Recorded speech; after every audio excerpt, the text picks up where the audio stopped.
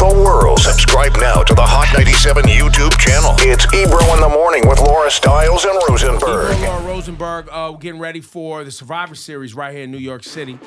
Let me get their song too. I gotta get the Street Profit song too. Yeah. Do it. You know? Survivor Series is Sunday. Raw is Monday, all at the Barclays Center. And then they're actually coming back a few weeks after that to Long Island too, to uh, UBS on Long Island as well. Yeah, we be uh, it's a live events in uh, Saturday in Syracuse as well. So, Oh, you're yeah, all we're gonna be over all around. the tri-state area. Try to stay here for a while. So, uh, if the audience doesn't know, um, maybe uh, they're like passive wrestling fans. Let's not Okay. assume everybody watching Sure. right now is all the way in on both of y'all. But I think for this program, uh, Black Love is in the building. That's right. That's You know what I'm saying? right. You guys are uh, a couple, but but your relationship is not a it's not a WWE relationship. It's not as if there's a storyline in the WWE about y'all being together. This is the real deal. Right, yeah, right, this right, is right. real life right here. We're married in real life, but it's not really a storyline on TV. He's he's in a tag team with Angelo Dawkins and Street Profits. Black, a different kind of black love. yeah. You know, best friend, love, best friend love. You know, Romance. That's a a bromance, a real Yeah. bromance. Wait, did you guys meet at WWE? Yeah. We Oh, met, He wow. was in he he started in 2015. I started in 2016. Um, and like two months after I got I started, I was like, ooh, I told my friend, I was like, ooh, keep him away from me. That's a beautiful man.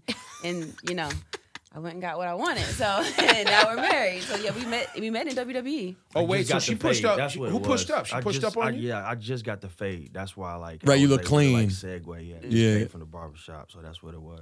but uh, she definitely, um, she definitely made the first move because when we actually went out, they had a, like a company gathering and everybody had sushi. Never had sushi in my life. Never Okay. loved sushi before I got to the performance or mm. anything.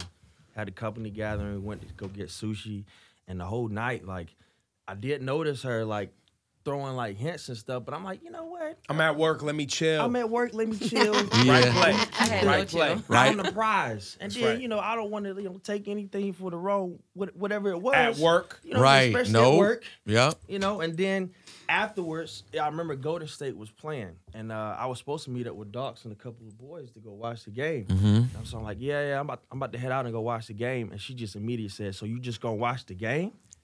And I was like. I guess not. I'm going to the movies with y'all. And that was it. No, I went to the movies and like she, everybody was sitting down from work from the same row, but like she stopped and sat in like this particular seat, and I was like, dang man, I don't know if she telling me to sit there or not. So me, being respectful, He wasn't At taking I work. it. was socially distancing work. before it even happened. Yeah. Exactly. Got the seat over. That's right. And then I come to find out later that, that she was actually trying to get me to sit beside her, and yeah, I just wasn't catching. You did it absolutely the Yeah, correct way. and for anybody yeah, at home, take notes here, gentlemen. Yeah, yeah, And look how it worked out. It Yeah, worked did, out it great. did, it and uh, play stupid at work, fellas. Yeah.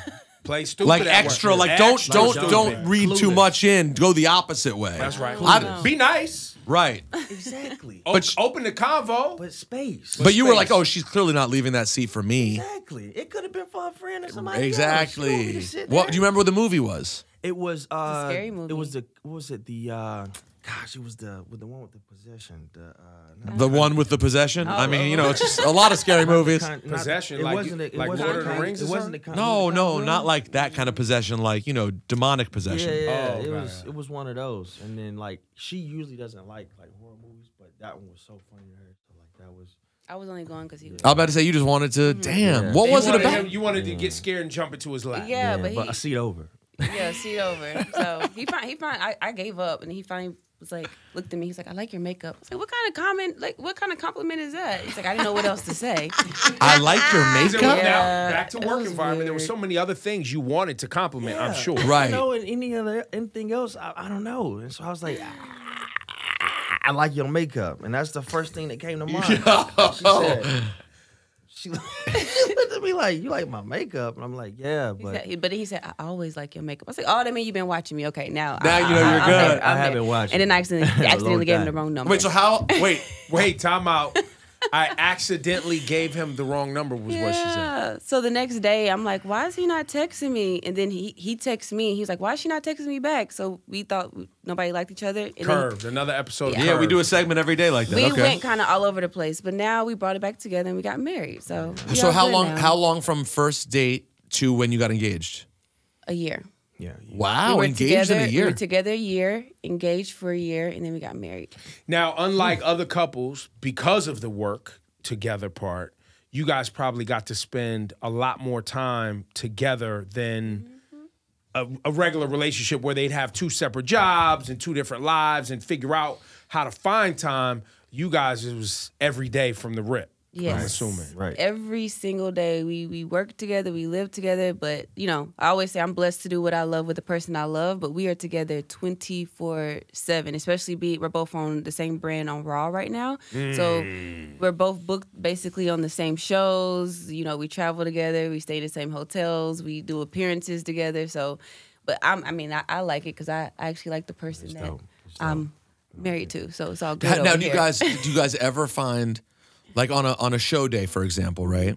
Like WWE is a lot of hurry up and wait. You know, like all entertainment, you get there very early for your call time, and there's sometimes nothing to do. Like you, you're, you know, you might have to talk to a writer, or do this, do that.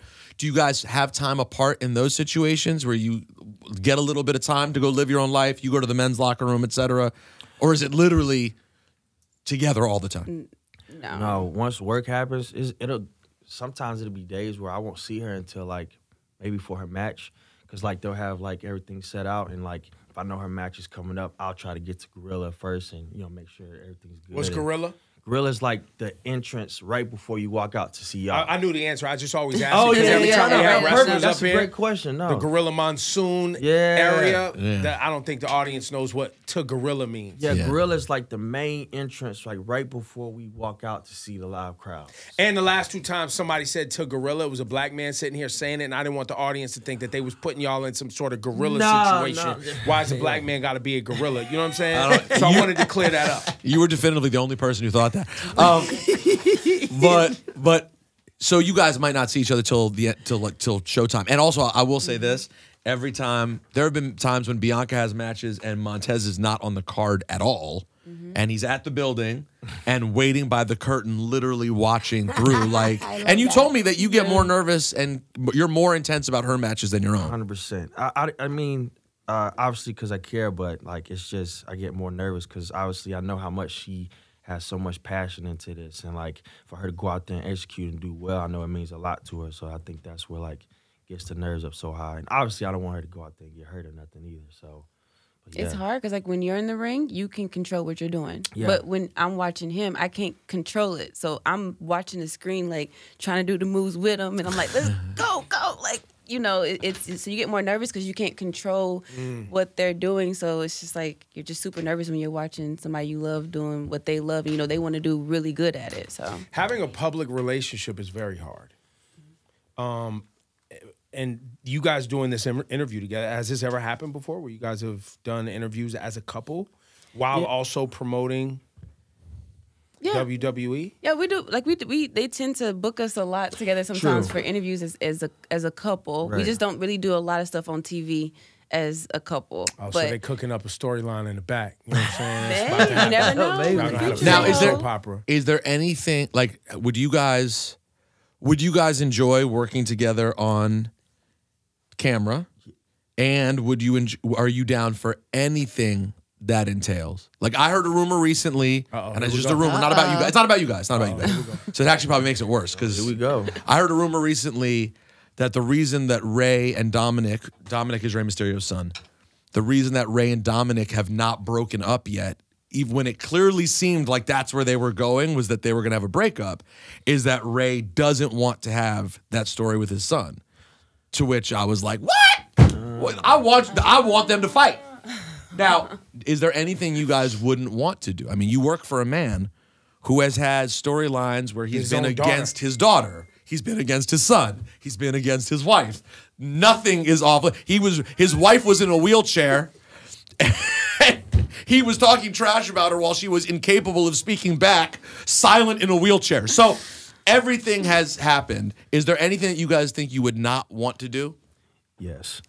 No, that's the one thing I'm. I'm uh, the only thing that I would be worried about. Like I enjoy doing my own thing, and I think that he shines as well. He's in a tag team, and then maybe down the future he'll shine on his own. We'll, we'll see. But uh, it it'd be it would be fun to to get in the ring together and do something together. But any like I I I my marriage, man. I, I don't want to play around with that. So it's it's it's a little bit of a, a blurry line for me because I, I just see my marriage as something that is Sacred. sacred and I don't really want to play around with it in any way that's negative. Like Right. if, if if we're on TV and we're we're you know broadcasting our love, I want it to be in a positive light. And so I, I might, you know, I don't You might be I funny there's that. a there's a there's a here's the upside though. Yeah. You know, uh, there I'm sure there's some frustrations. Y'all are in a relationship. Um, under the guise of entertainment, you could get these frustrations off. A nice drop kick. You know what I'm saying? a little clothesline. Intergender match You know against each saying? other. She would definitely win. But by the way, you guys Good have eye had gouge. you know what I'm saying? now with the amount you guys have, have messed like pr- practiced together though and worked out together. Mm-hmm. I'm guessing you guys could probably have a really wonderful match, the two of you. Yeah, uh, uh, yeah, Yeah. hundred percent. You guys have to know each other in every way in that regard. She regard. definitely be the powerhouse of the whole entire match. man. I be pressing getting- over my Could head. you pre- could you press? I could, 100%. yeah. He, She he could. actually wants me to uh, get in a match with him and press him over my head and throw him on somebody. He, That would he, be he talks about that all the time. He, as soon as he walked in, he said she's stronger. yeah, She's faster. She's she's she's a different animal, man. that's why. I Are you sometimes like ESP. what? different animal. That's why I'm always in my p's and q's. You know, You better, be, you better be at that curtain. yeah, if I step out of line, I won't be If fine. you ain't watching me do a match, what you looking at? I step out of line, I won't feel fine, and in the nighttime, I can't sip the wine. Right, right, right. You want to sip wine and feel fine. Yeah, yeah, yeah.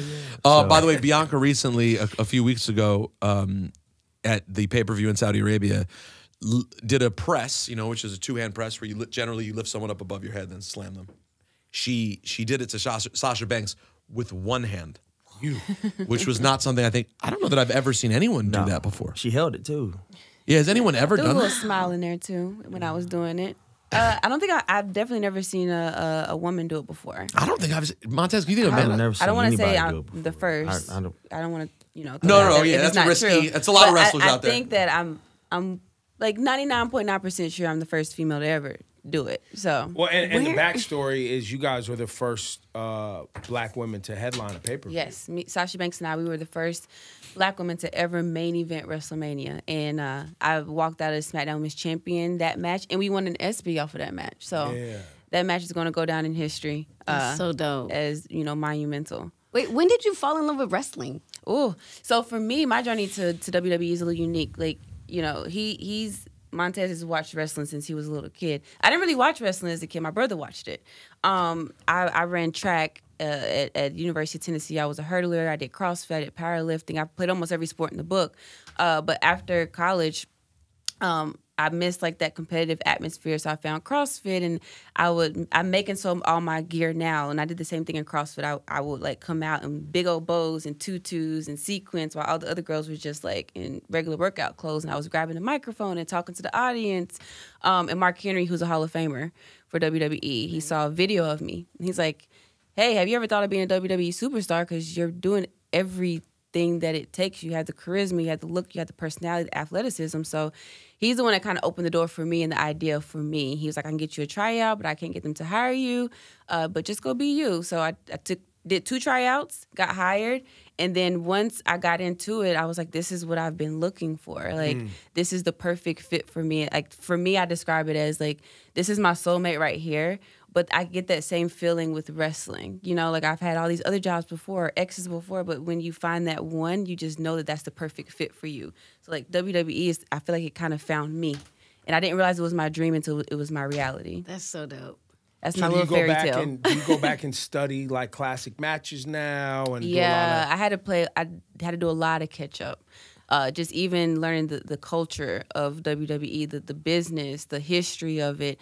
And this one sitting beside me right here, like I said, he's been watching since he was a kid. So he's been there. He would sit me down and he's like, watch this match. This is this is the story behind this match. Because you can go and watch all the WrestleManias, but if you don't know the backstories, that's what really makes the, the match is is the protagonist and antagonist and what's the story here.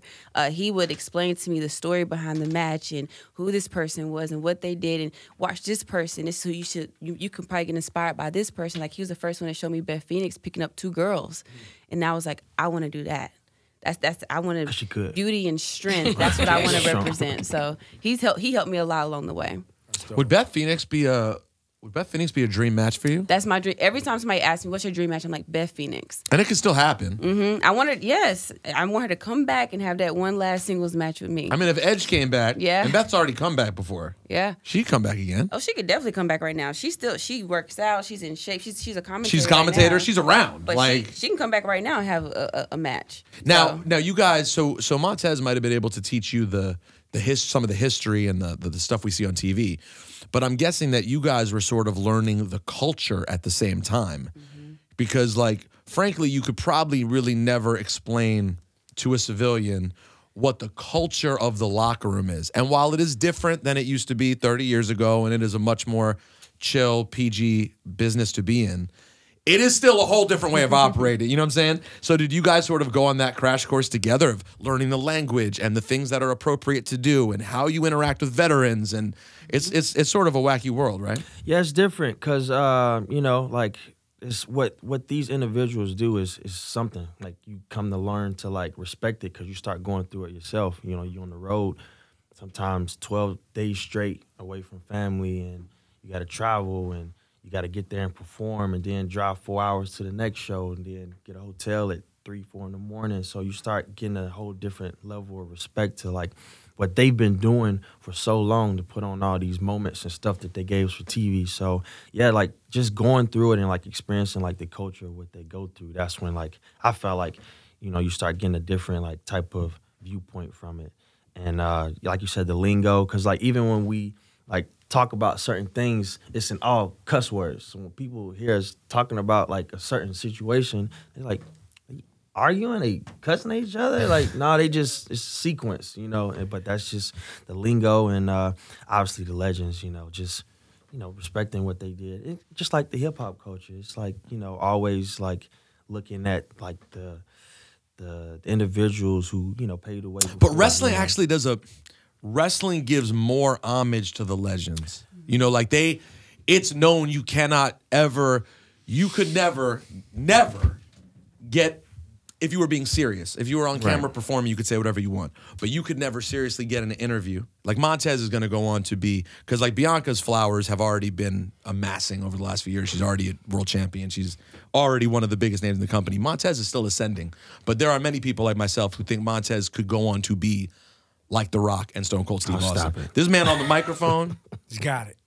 I mean, listen, Bianca's better than him at virtually everything. Yes. But with that microphone in his hand. I'm okay with number two. that mi- but that microphone in his hand, he is something That's special. shines. Something special. Okay. So- but he would never fix his lips to get on an interview and say like, "I am the best who's ever touched a microphone," because people would know that Steve Austin and The Rock are still living and breathing and on the internet. They're on Beyonce's internet as well, also watching and seeing what's going on. Yeah, because it's under it's a, it's a part of a league. It's a part of a network. There's a thing- there's a network, whereas there's no hip-hop- hip hop network of you People know, just say loose- hiring and firing. Right. You know what I mean? So people just say shit. does say loose things. There's no one for them to answer to the same way. You know what I'm saying? Yeah, yeah, yeah, yeah. Now, For but do you ever think about like guys like that? Because you have to know deep in your soul that when you're on that mic, the level of confidence and charisma you exude is a very it's rarefied air, bro. Like you're you're special with that mic. I appreciate that, but I just I, I feel like um, with all of us, you know, like confidence, and like in our environment, we got to go. It's live. Like either something can change, but you have to go. You have to go.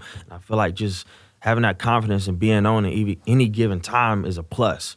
You know, because the fans, I feel like the fans know it too. If like you speaking, you speaking on the mic, or you trying to promote your match that's happening, or whatever else is coming up. If you don't have no intensity inside what you're saying, nobody's gonna really believe it. Ah, he just saying words. He just saying this and that, like what I just did there. But it's just like a simple like if you I feel like if you don't have the confidence or uh if you're not if you don't feel what you're saying to the If you don't fans, believe it, nobody if else you don't believe believe it, it. nobody else will. That's right. And like no, I feel like the fans aren't dumb. They're, they're nobody's dumb. They know the passion that everyone has, and if you just quote unquote reading from a script, they can tell. You know. So, but I appreciate that, man. Talking about I'm up there with I say you will be. Listen, mean- man. Listen, on, on, on, the, them will up. be. on the ascent, you know what I mean? We met, uh, what, what's our guy, Roman Reigns? Mm-hmm. You, know, you go with Roman Reigns. You like Roman? Yes, absolutely. And uh, just had actually had my first one of my uh, single matches with Roman on SmackDown. Uh, a few. Oh snap! Well, it didn't end. It didn't end well.